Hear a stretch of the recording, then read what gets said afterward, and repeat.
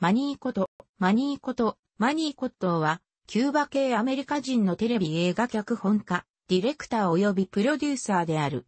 彼は、最終シーズン、シーズン4の上級、プロデューサー及び番組制責任者であり、また、24、24- では3シーズンにわたり上級、プロデューサーを務めた。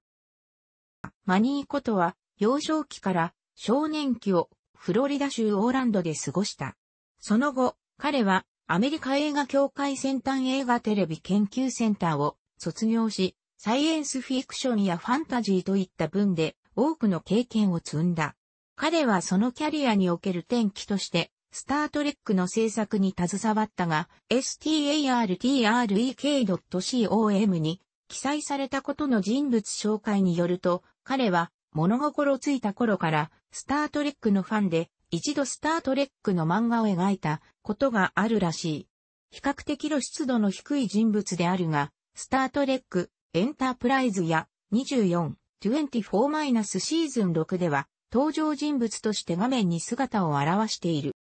2004年12月27日、イタリアのベネツィアにおいて、ことは視覚効果ディレクターのロビン・トリケットと結婚した。こととトリケットの両者は SF サスペンス作品オディッセイ語で仕事を共にしたことがある。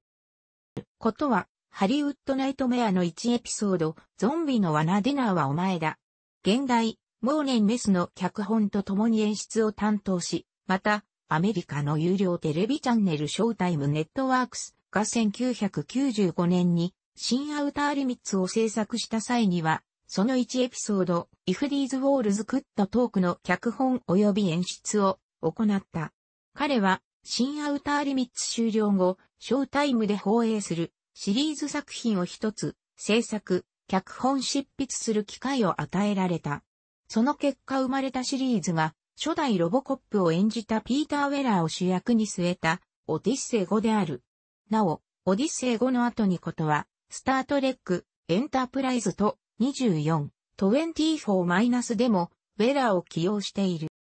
ことは2003年、スタートレック、エンタープライズの脚本チームに参加した。同番組が第3シーズンにある頃である。彼が手掛けたエピソードには、サミーラ・トゥード、チョセン・レルムそして、アザチ・プライムなどがある。その後、彼は同番組の第3シーズン作成中に共同上級プロデューサーに抜擢された。同番組の第4シーズンで彼はシリーズ制作総責任者のリック・バーマン及びブラノン、ブラガと並んで上級プロデューサとなった。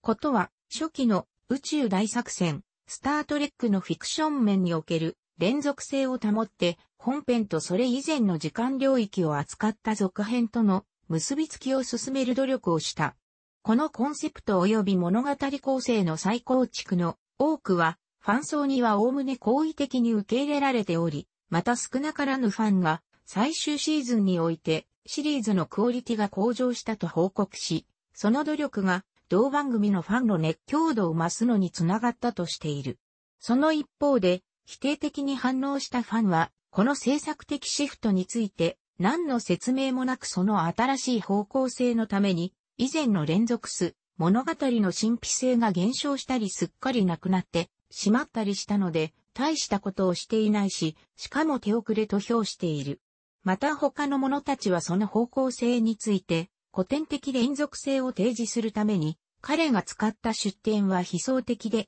元のスタートレックシリーズの精神を否定するものであるように、思われるので失敗でろうという視線を送った。スタートレックファンの世界における論争ではよくあることだが、この論題が自己解決する様子はない。本シリーズが2001年に幸先良いデビューを飾って以来、視聴率は前言状態を続けていたので、その原因をことに帰する者はほとんどいないのであるが、いずれにせよ、スタートレックの視聴率は、ことが在任している間低下し続けた。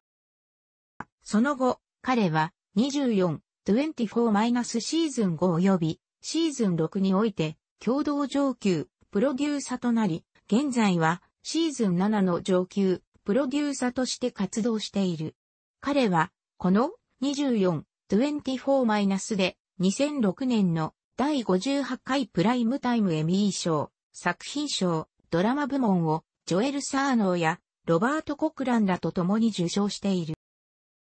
ことはまた、ドルフ・ラングレンを起用したデスロック、戦略ガス兵器を終え、ドクター・ギグルスなどいくつかの映画を監督している。また彼は、FOX ニュースチャンネルの右翼ニュース風刺番組である、の脚本家、主演者、共同制作者でもある。この番組は、視聴率が低調なまま前言を続けたため、最終的にわずか15回の放送を行っただけで、2007年8月14日をもって不人気なまま放送を終了した。